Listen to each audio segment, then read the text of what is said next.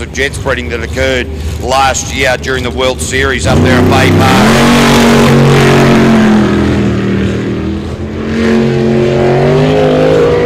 Oh, Blake Ryan just mashing it at the moment, really into it in that last part of the track, looking smooth, but here is where it comes into the crosswash, starting to develop the uh, big washing machine effect that we talk about so often.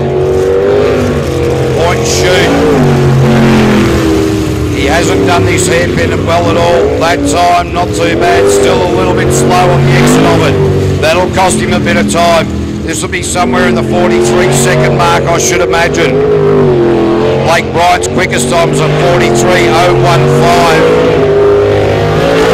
Blake Ryan across the line with a 43.465. He's 0.4 slower than he was in his previous qualifying round number three run.